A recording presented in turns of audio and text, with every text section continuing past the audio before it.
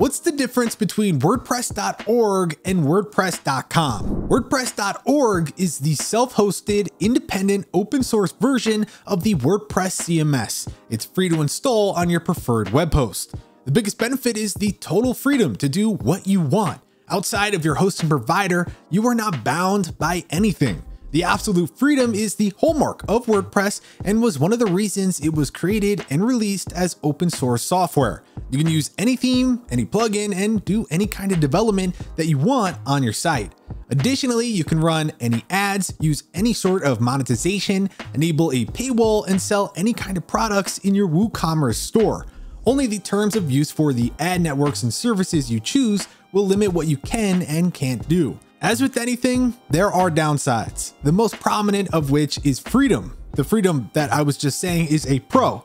By being fully in control of your site, you are also fully in control of maintenance, purchase of themes and plugins, additional development, and any hosting issues that might come up. WordPress.org is for anyone who wants a website and everything that comes with it. With full freedom and ownership of your site, design, and content, there's really no reason not to give it a shot. WordPress.com is a free website service, not a free website software. You don't have to download anything or install it. You sign up for an account and create a site that is hosted by WordPress.com. You will be given a choice of templates and suggested plugins and a WordPress.com URL. You don't have to find a host because WordPress.com is your host. They give you 3 gigabytes before requiring you to pay for a plan.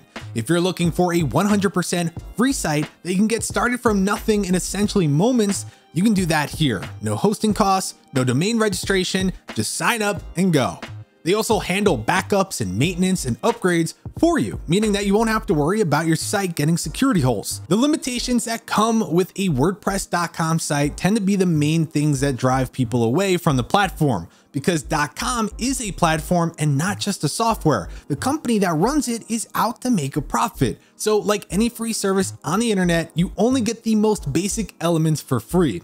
If you want a custom URL, you have to pay extra. To use any theme you want, from their approved list, you have to pay extra. Same for plugins, and if you want to run an e-commerce site, yeah, you need to upgrade your plan. You see the pattern here?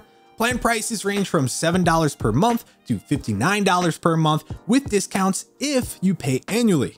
WordPress.com also shows ads on your site and it doesn't pay you for them, at least if you're a free member. The saying of if you're not paying for a product, you are the product holds very true right here. Automattic definitely profits off of your use of their service, whether you pay for it or not.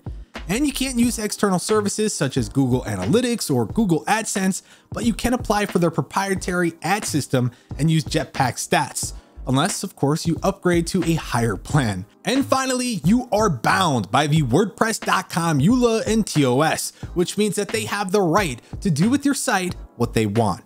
While you own the content there, they may choose to use it in advertising. And if they decide your content violates their terms, they can take your site offline without your consent. Overall, our verdict is that WordPress.org is by far the superior product.